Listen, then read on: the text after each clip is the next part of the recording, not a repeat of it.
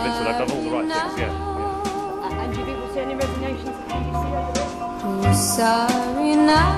Good evening. A Newsnight investigation into the abuse of boys from children's homes in Wales can reveal that two victims say they suffered sexual abuse. Newsnight. And tonight, this programme apologised for key allegations. Announced his resignation last night outside this very building. He was standing beside the man who had so recently apologised.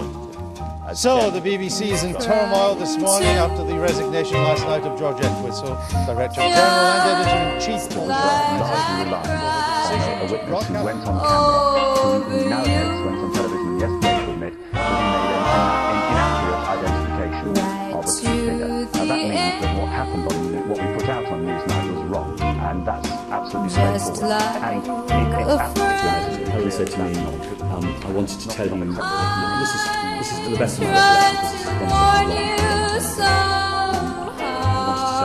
that uh, Newsnight are looking at Jimmy Savile or investigating Jimmy Savile, and if it, if it comes off, if it stands up, words to that effect.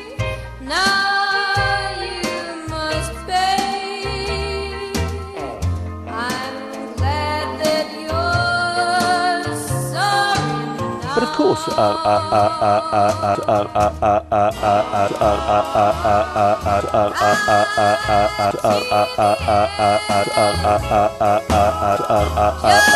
The BBC is taking action. That's what we're going to do. I've got a job and I'm going to get on with it. Thank you, Dermot. Well, are, are, are more heads going to roll, Mr. Davie? Warn you and it will occupy for most of the people the evening hours. It's a potential social menace of the first magnitude. I'm glad that you're